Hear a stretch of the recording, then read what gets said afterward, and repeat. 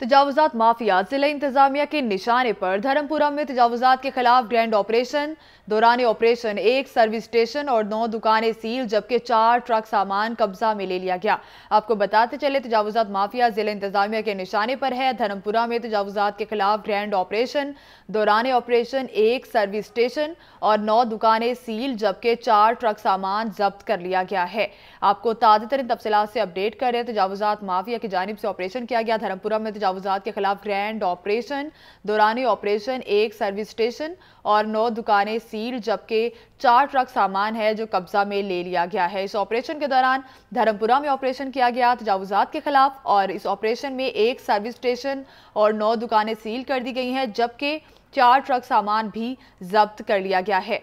आपको अपडेट कर रहे हैं, इस वक्त धर्मपुरा में तजावजात के खिलाफ ऑपरेशन हुआ और इस ऑपरेशन में चार ट्रक सामान कब्जा में ले लिया गया है। दौरान ऑपरेशन एक सर्विस स्टेशन और नौ दुकानें भी सील कर दी गई हैं। इस पर बात करेंगे हमारे नुमाइंदा इमरान मलिक से। जी, इमरान, इस ऑपरेशन के हवाले से बताइएगा।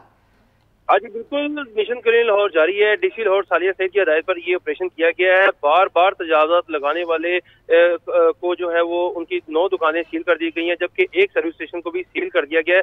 Deputy chief officer Usman Bedar और zonal officer regulation Shahzad Iqbal Qureshi इस ऑपरेशन की निगरानी कर रहे हैं, जबकि assistant commissioner Umar Hayat Gondal police के हमरा ऑपरेशन में मौजूद हैं और चार ट्रक सामान जो है वो जब्त कर लिया गया है। अलामा इकबाल बाज़ार धर्मपुरा में तजावजात के खिलाफ ग्रैंड ऑपरेशन किया गया है। हैवी मशीनरी और पक्के थरे भी मुसवार किए गए हैं। हैवी हैवी मशीनरी का इस्तेमाल किया गया है। इस वाले से ऑपरेशन में नौ दुकानों को इसलिए सील किया गया कि बार बार इनको नोटिस दिए गए और तजावजात लगाने की वजह से इन नौ दुकानों को सील किया गया जी।